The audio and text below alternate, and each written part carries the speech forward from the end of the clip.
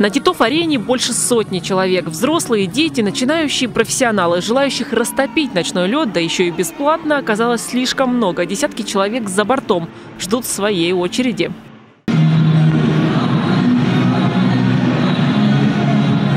Я, как и любой другой житель Барнаула, пришла на ночные покатушки, на коньках, но меня и большинство других людей элементарно не пускают. Да вы знаете, если честно, я даже не смогла попасть, в принципе, на лед, потому что там огромная очередь. Я вот их надела, походила просто по, по лестницам, и на этом все. Я поняла, что я не смогу пройти, потому что меня не пускают. Почему не пускаете людей на лед? С горем пополам нам поясняют, существуют ограничения. Людей на льду не должно быть много, это травмоопасно. Это последние кадры, которые успела снять Людмила Сверидова на льду. Девушка не думала, что бесплатное катание закончится ушибом. Очень много народу. Меня даже парень сбил.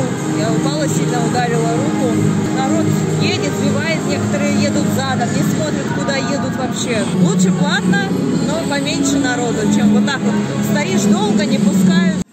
Небезопасно на льду, небезопасно и в очереди. В масках единица, о социальной дистанции не может быть и речи. Посмотрели, что здесь все без маски? Это что значит ограничение безопасности? Спортом в маске нельзя заниматься, это сбивает дыхание. А, то есть здесь люди спортом занимаются. Человек, я бы сказала, 50. Стоят и спортом занимаются. Покажите человека без маски. Посмотрите внимательно, вон девушка стоит. Это только на кого я обратила внимание. Она, она нарушает. Много людей без маски. Ребенок, возможно, вы без маски. Не боитесь? Думаю,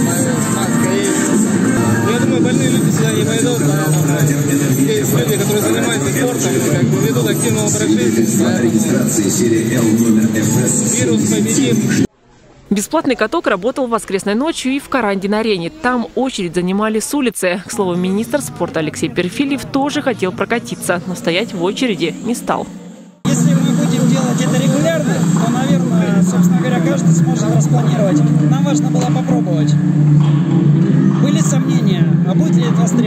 Поэтому, ну, повторюсь, как бы хочется посмотреть. И хорошо, что очередь. Если будем делать чаще, значит не будет очереди. По этой логике нужно чаще бесплатно приглашать людей в Барнаульский зоопарк. Это вчерашние кадры, здесь яблоку негде упасть. Дистанции нет, масок тоже. Между тем, в феврале-марте Минздрав прогнозирует очередной всплеск заболевших. И подобные массовые мероприятия явно не улучшат эпидобстановку в городе. Валентина Аскерова, Анастасия Бертенева. День с толком.